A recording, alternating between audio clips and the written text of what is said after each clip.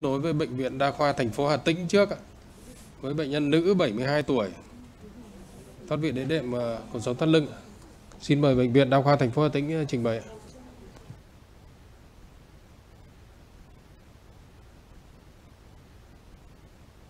À, xin phép thầy cô cho bọn em được uh, báo cáo ca bệnh tiếp theo tại vì uh, bác sĩ báo cáo ca bệnh hiện tại là chưa có mặt tại hội trường ạ. Vâng, xin mời ờ, bệnh viện thành phố Hà Tĩnh ạ.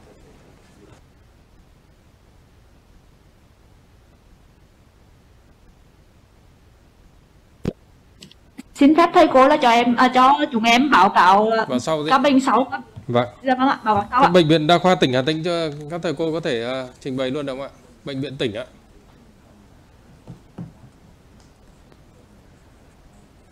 Bệnh nhân nam 34 tuổi, địa chỉ Hương Trạch, Hương Khê, Hà Tĩnh, vào viện ờ, 17 giờ 30 ngày 20 tháng 11, chẩn đoán là đau cổ sống thắt lưng lan chân trái, còn đại tiền khó khăn. Và bệnh sử là cách khai tháng nhập viện bệnh nhân bị tai nạn giao thông. Sau tai nạn bệnh nhân đau cổ sống thắt lưng kèm đài tiền ở khó ở nhà chế điều trị gì. Cách 14 ngày vào viện thì bệnh nhân xuất hiện đau tê xuống hai chân, chân trái đau nhiều hơn chân phải, bị đài tiền ba bốn ngày đài tiền đi được một lần phấn bón cục màu vàng cảm giác đài tiền không hết phấn gia đình đưa vào bệnh viện Hương Khê điều trị không đỡ chuyển bệnh viện đa khoa tỉnh Hà Tĩnh về tiền sử bệnh thì ờ, bệnh nhân sống khỏe mạnh còn ờ, khám bệnh nhân lúc vào viện bệnh nhân tỉnh táo giá niêm mạc không đau đầu ít đông tử đều phản xạ trạng dương tính hội chứng mưng não âm tính. Đau lưng tê xuống hai mông lan xuống hai chân chân trái lớn hơn chân phải. À, chân trái yếu nhẹ cơ lực 4 đến 5 cơ có cứng cơ cánh sống phản xạ cân xương bình thường. Bệnh nhân ờ, khám mình là dách 90 độ cách khối thần kinh 100 m không liệt đại tiền khó khám trực tràng không có u cục không có ờ, phản xạ cơ thắt hormone bình thường tiểu tiền bình thường bụng mềm không trưởng tim phổi bình thường.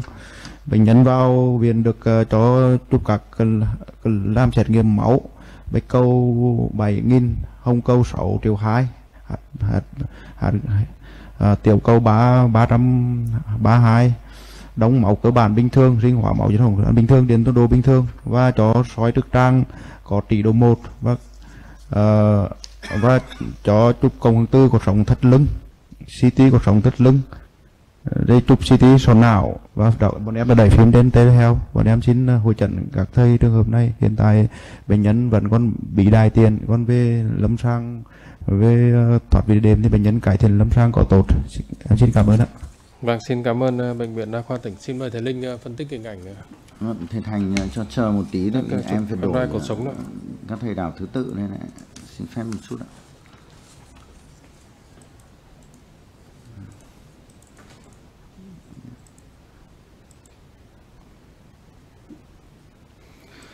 Ờ, Xin kính thưa thầy Thành, các thầy cô trong hội trường và các bạn ở các đầu cầu. Bệnh nhân này là bệnh nhân cũng khá hay, tôi ờ, sẽ phải phân tích hơi nhiều một tí.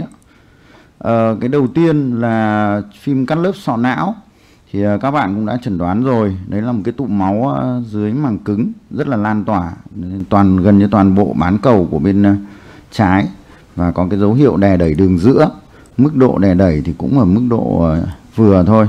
Lệch đường giữa khoảng 5 hơn 5 mm một chút. Thế chưa có dấu hiệu của các cái thoát vị do cái chuyện đè đẩy này. Chưa có dấu hiệu thoát vị dưới liềm đại não, thoát vị của um, thủy thái ờ, à, của hồi uh, à, hải mã hay là ở phía nền sọ. Thế thì, tuy nhiên có một cái mà các bạn cũng lưu ý khi chấn thương là bắt buộc bao giờ chúng ta cũng phải nhìn kỹ cái uh, cửa sổ xương thì ở cái cửa sổ xương thì cái này thì các bạn chưa đọc đến đấy là một cái tổn thương nó vỡ cái đường vỡ nó gây ra vỡ đúng ở cái theo cái khe khớp dọc theo cái khe khớp giữa xương thái dương và xương chẩm của bên uh, phải khá rõ Đấy thực ra thì cái vỡ này thì chúng ta cũng không làm gì, nhưng mà nếu mà chúng ta có một cái vỡ như này, thì ờ, chúng ta cần phải lưu ý ờ, theo dõi bệnh nhân chặt hơn. Và nếu cần thì chúng ta phải chụp lại. Tại vì những cái vỡ của xương sọ nó có thể gây ra một cái chảy máu ngoài màng cứng. Có thể cái lúc đầu chúng ta mới chấn thương, chúng ta chưa nhìn thấy, vì nó cũng chưa nhỏ, nó rất nhỏ. Thế nhưng mà sau nó có thể tiến triển lên. Nên thường những cái này thì cũng nên chụp lại theo dõi nếu mà chúng ta chụp lần một là giai đoạn ờ, rất cấp tính tức là vừa mới chấn thương. Thế còn nếu mà đã chấn thương một thời gian mà các bạn mới chụp ở cái phim này thì các bạn cũng không cần phải chụp thêm lại nữa. Đấy là đối với ờ, cái phim sọ não. À, cái thứ hai là chúng ta ở đây thì các bạn à, vì có cái dấu hiệu của bệnh nhân có dấu hiệu của rối loạn đại tiểu tiện nên các bạn đã chụp rất kỹ cái vùng cột sống thắt lưng. Thế và nói thật là các bạn cũng làm rất kỹ không còn gì để kỹ hơn tôi lướt nhanh cái phần bình thường là các bạn còn làm cả cột sống cổ. Xin lỗi, hệ thống mạng hơi chậm.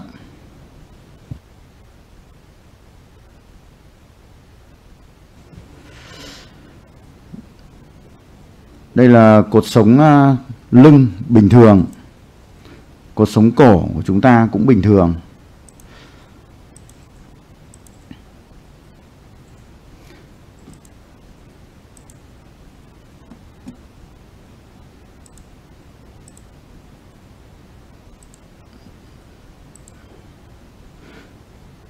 Ở trên ờ, ở đây các bạn đã chụp một cái phim là phim ờ, cắt lớp vi tính của cột sống ờ, thắt lưng.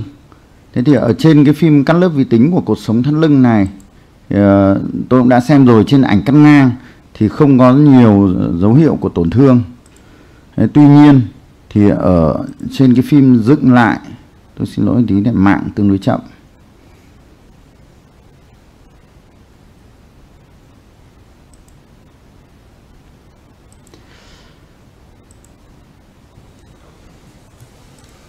Và sắp tới chúng ta sẽ có 5G thì Vâng. hy vọng thầy Linh sẽ hoạt động nó không cái ảnh này tại vì cũng nặng thật là nó đến ờ, hơn 200 ảnh mà em lại phải muốn dựng ở trên cái ảnh ờ, Sagitan.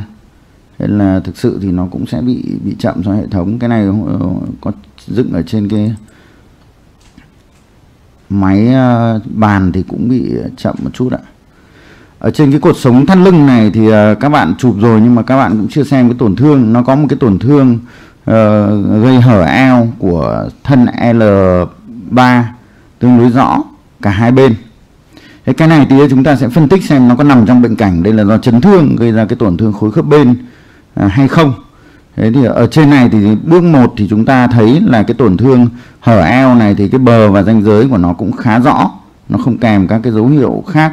À, một cái dấu hiệu mà tí nữa trên cổng từ sẽ rõ hơn đấy là cái hình ảnh sát theo cái đường khuyết của xương này thì chúng ta lại thấy ngay bờ của nó đã có cái đặc xương rồi. Đấy, thì như vậy là đây là một cái tổn thương tương đối cũ. Đấy, tôi xin phép để chuyển sang cái phim cộng từ của cột sống thắt lưng của bệnh nhân.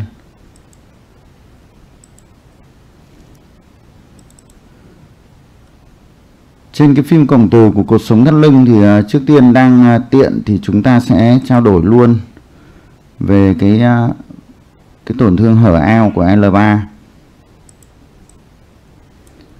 thì ở đây cũng thấy cái tổn thương hở eo của L3 ở đây chúng ta thấy có cái viền đặc xương.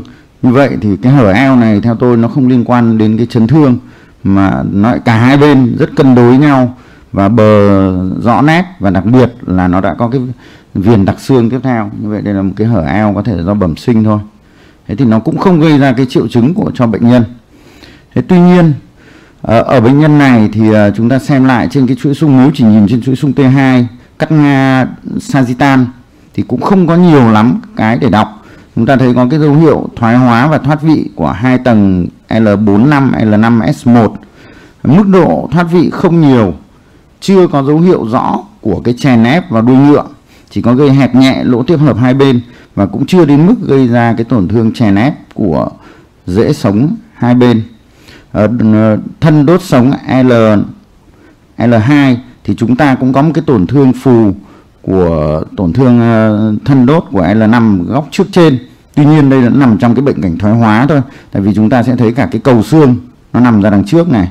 Như vậy đây cũng là bệnh cảnh của tổn thương thoái hóa, không phải chấn thương. Và chúng ta vẫn chưa giải thích được tại sao có cái dấu hiệu của các cái rối loạn đại tiểu tiện, tức là hệ thống cơ thắt. Thế thì chúng ta sẽ nhìn xuống ở cái chuỗi sung T1 ở đây các bạn sẽ thấy ngay ở trên cái chuỗi sung T1 đây là chuỗi sung T1 chưa xóa mỡ, thì chúng ta thấy là hình ảnh ống sống của bệnh nhân rất hẹp.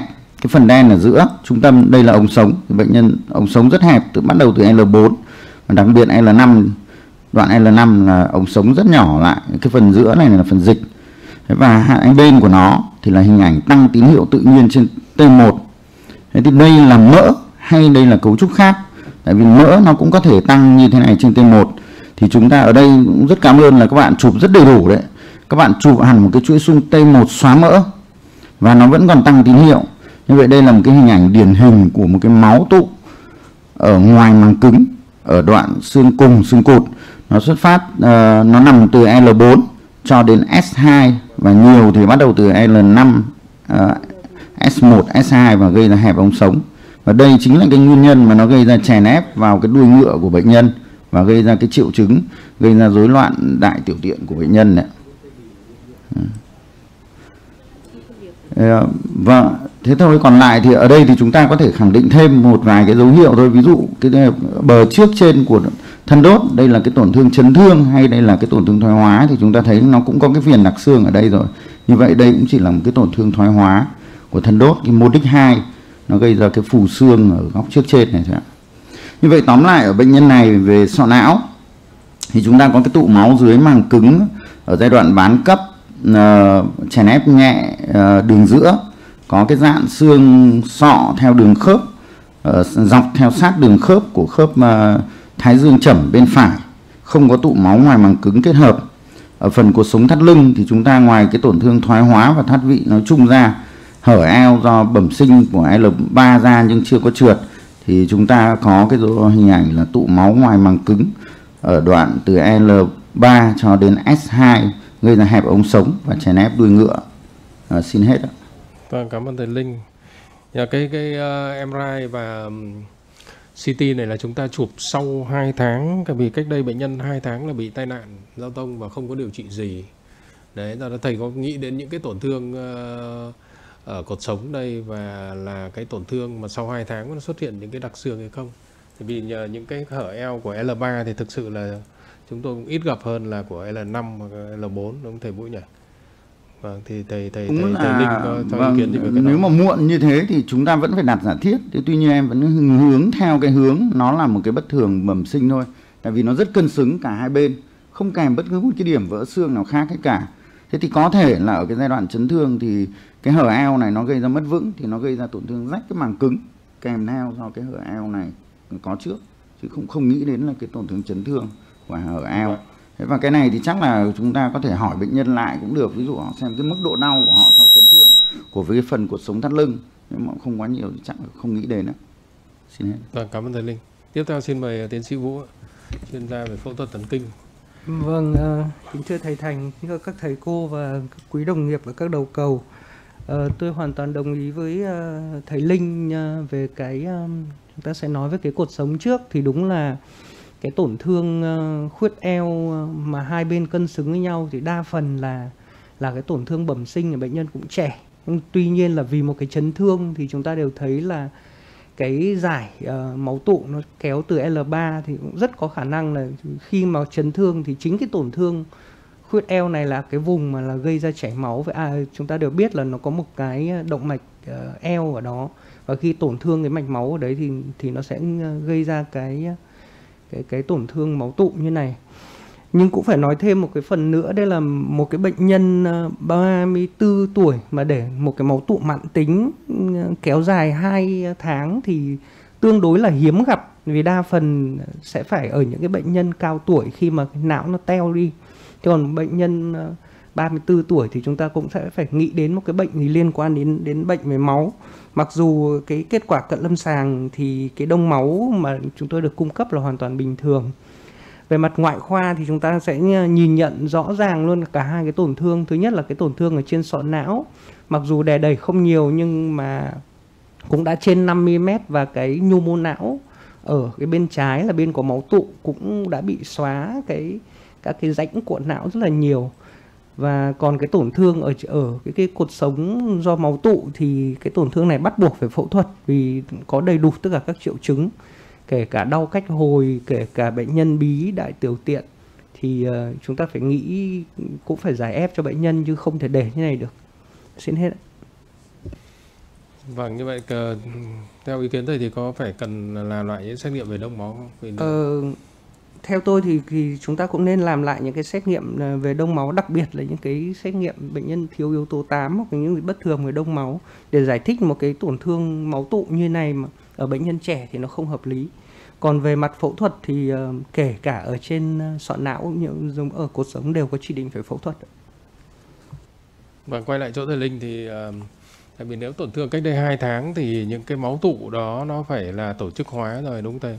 Thầy cái hình ảnh thầy có thêm ý Vâng. kiến gì không? báo cáo thầy thành cái là đây là ờ, tổn thương mới? đây cái này ờ, em muốn trình bày thêm một tí đây là các bạn ấy đã chụp một cái phim là ngày 19 tháng 11 cái phim vừa rồi chúng ta phân tích là ngày 24 tháng 11 đây là 19 thì ở cái thời điểm 19 tháng 11 thì cái hình ảnh của đã có cái máu tụ đấy rồi nhưng cái hình ảnh tín hiệu của máu tụ nó khá khác biệt so với cái sau đấy thế như vậy cũng có thể đây là một cái tổn thương tương đối bán cấp sau chấn thương chứ không phải cái thời điểm 3 tháng trước Thế và ờ, cũng xin hỏi các bạn là cái giờ thời điểm mà bệnh nhân bắt đầu có rối loạn đại tiểu tiện là cách đây bao lâu và trước đấy chúng ta có làm cái thủ thuật gì không đặc biệt là có cái chọc dịch não tủy hay không ạ?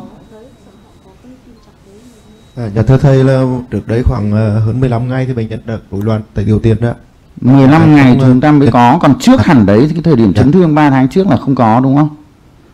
không ạ và Ừ. bọn, bọn em được 3 tháng được nhất có nhưng mà đại tiền nhẹ.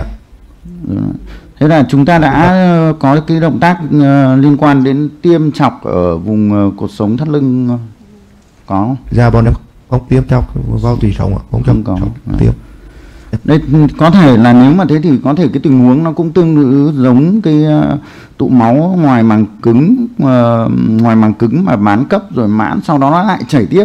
Thì ở đây em nghiêng về cái giả thiết là có thể cái thời điểm đấy của bệnh nhân là bệnh nhân đã có nhưng mức độ nhẹ và sau đó gần đây thì bệnh nhân chảy máu mới. Đây cái máu này này, cái máu hôm mà người 19 tháng 11 là tương đối mới, khác hẳn tín hiệu. Tín hiệu vừa rồi các thầy thấy là ở trên dung T2 nó trắng hoàn toàn. Còn ở đây nó là màu xám nên là cái này có thể là một cái tức là chảy máu cấp trên nền cái mãn cũ nó lại có một cái đợt cấp thì nó tăng kích thước lên thì nó sẽ hợp lý hơn về mặt giả thiết xin hết. Vâng. Thế còn uh, trong chuẩn đoán hình ảnh cái cái um, người có rối loạn đại tiểu tiện đấy, uh, ờ, đặc biệt là đại tiện thì uh, cái trục cổng từ của thầy mà một cái kỹ thuật uh, trục cổng từ tống phân nên này nó có giúp đỡ gì trong cái trường hợp này không? báo cáo thầy đây là một cái tổn thương do rối loạn cái cơ thắt đã có nguyên nhân là thần kinh rồi của cả bàng quang và của phần cơ thắt hậu môn thì không có cái chỉ định đấy.